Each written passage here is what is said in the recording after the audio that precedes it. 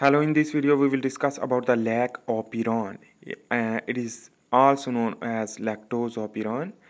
And what is lac operon? Let's begin to understand a set of genes that are specific for uptake and metabolism of lactose.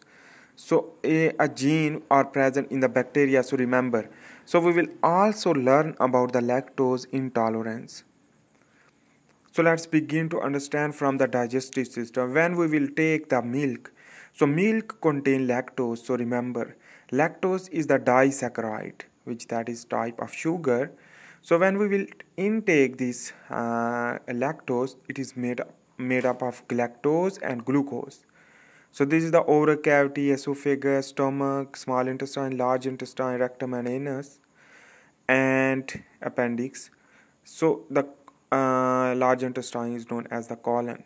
So when we will intake the milk, it will go into the stomach and it contain protein, obviously whey protein which that digest in the stomach while the lactose basically will digest in the small intestines also so the ingestion to lactose which that will digest in the small intestine less while the stomach go a stomach to the small intestine will uh, digest more and large intestine which that is unable to digest. So the affected by microbiota in the small large intestine for digestion. So remember that when large intestine will digest in uh, uh, small amount of the lactose will not digest in the small intestine will go into the large intestine which that will uh, digest through bacteria, the help from the bacteria, E. coli. So the microbiome are present in this way. Here is the uh, is the bigger picture of the large intestine. Contain the longitudinal muscle, circular muscle, serosa inside, and the mucosa and muscularis mucosa. Basically, is the layers of the the large intestine. While here is the mucous membrane are also present, which that is a barrier immunity. So inside is the goblet cell. So remember. So this is the lactose, which that is made up of galactose and glucose. So alpha 1 to 4 glycosidic bond. So in this way here is the situation can be 1 is lactose plus glucose. So the bacteria will prefer more glucose because high energy consumption inhibition. While if the glucose already present only, so prefer bacteria situation 2 Situation 3 is the lactose basically uh, if present only so the bacteria will prefer to lactose breakdown through enzyme. So enzyme produce from the DNA in the genes of the bacteria. So let's begin to understand the set of gene is known as the lac operon. So this lac operon contain a CAP site. This is the DNA of the bacteria so this is the double stranded circular uh, DNA I am uh, drawing here so when glucose will be more so here is the cap site are present which that will not bind with the cap through cyclic AMP because when glucose will be more so the cyclic AMP will not activate and decrease of the cyclic AMP so the cap will be, will be not bind. So this is the promoter RNA polymerase binding region. So the polymerase will not bind so the gene transcription will not occur. While when the high amount of the lactose and the glucose will not present so it means the promoter region which that will repressor release while in the case of repressor are present which that will inhibit the lactose producing uh, lactose digesting enzyme producing so in this way, the RNA polymerase will bind with the repressor release. So in this way, you can understand the promoter will promote the operator. The operator contain LAC-L gene. This is the operator is used for the operation and that is the repressor will release from it if the glucose will be high. So the repressor will work and bind and will not allow to release while the lactose will release it if the lactose will high concentration while the glucose will less. So anyhow that uh, RNA polymerase will work and to transcribe the lac Z gene, Y gene and A gene and its termination the AUG to initiation factor of the codon will terminate uh, via UAA, UGA, etc. So this is the lac Z will produce the lactase enzyme while the lac Y produce the membrane embedded transporter, the lactose permease, which that is used for the permeability of the lactose into the bacteria from the digestive system. While on the other hand, here is the galactoside acetyl transferase enzyme produced from the lac A, which that is uh, unknown, but you can understand this can be a galactoside uh, acetyl transferase enzyme is used for the galactose uh, influx, the movement of galactose into the cell of the bacteria. So let's begin to understand the mechanism, the cellular level. So in this way, the anaerobic fermentation will be occur. Why? Because into the digestive system less oxygen, the bacteria will grow without oxygen is known as and use energy is known as the anaerobic bacteria. So this anaerobe will fermentation of the lactose into the glucose and the conversion and the metabolism. Let's begin to understand. So this is the plasma membrane of the bacteria which that is contained when the lactase will produce and the membrane embedded transporter will embed in the membrane.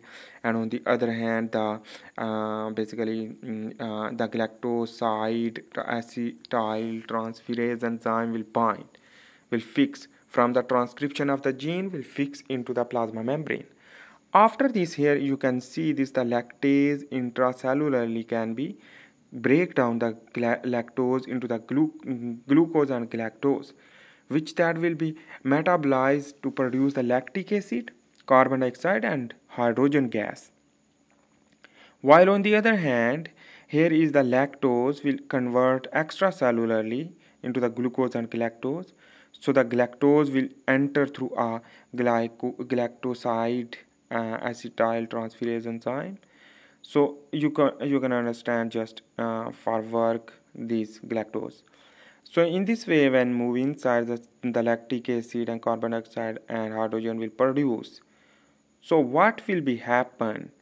So uh, this is the basically the metabolism complete for the bacteria. So let's begin to understand the lactose intolerance. So the bacteria can use to produce energy through anaerobic fermentation and this is the milk when we will take esophagus go into the bolus into the stomach to the chyme into the duodenum. And this will basically enterocyte are present. This enterocyte is basically contain a lactase enzyme in the brush border site. And this brush border enzyme is the lactase will convert into the lactose into the glucose and galactose uh, through our own body without using the bacteria so the glucose can enter easily through GLUT channel. So this is the basically the glucose will enter through a sodium move inside. So, so the simple transport, remember. I am not drawing part, just you can learn that. So lactase absent if the gene silent due to the epigenetic or gene defect or the uh, family history, which that will lead to lactose intolerance. So what is the meaning of intolerance? So the lactose we will we can't absorb, but the bacteria will work for the lactose clearance. How it's possible? So here is the bacterial action we will discuss. Also the methanogen will also work for it. So methanogen will produce the methane gas and hydrogen gas as well as carbon dioxide while the bacteria action for the lactic acid E. coli which that will convert the lactic acid and the hydrogen and carbon dioxide. So in this case, here is the methanogen produce methane, hydrogen and carbon dioxide, while the lactic acid will produce this formula is C3H6O3 is the lactic acid. Lactic acid will also cause the acidosis in the stomach, so the GIT, uh, gastrointestinal tract acidosis will be occur in the duodenum while on the other hand the gas the hydrogen and carbon dioxide will produce and this all lead to osmotic effect will lead to absorption of the water from the circulatory system and enterocyte into the lumen of the digestive system. So in this way, when the water will be enter, will increase the volume of the water, will distension of gut. This distension of the gut due to the fluid load and in this way the increased the peristalsis movement due to the stretching of the wall of the large intestine. And the fluid load will also cause the diarrhea and the increased peristalsis will lead to cause pain and the flatulence. And this enterocyte can be damaged. So the digestive system totally damaged. So in summary, the overaction of bacteria due to lack of lactase enzyme on brush border cells to convert the glucose lactose cause the problem is known as the intolerance of milk. So intolerance of lactose. So this uh, we had discussed about this uh, in this video the lack of as well as the lactose intolerance. So the lack will work but the a lot of lactose when intolerance and lactase enzyme absence in our own digestive system will lead to cause the our uh, lactic acid and hydrogen gas and carbon dioxide will lead to cause the uh, problem in our digestive system. So i hope you make sense about this. Thanks for watching. Bye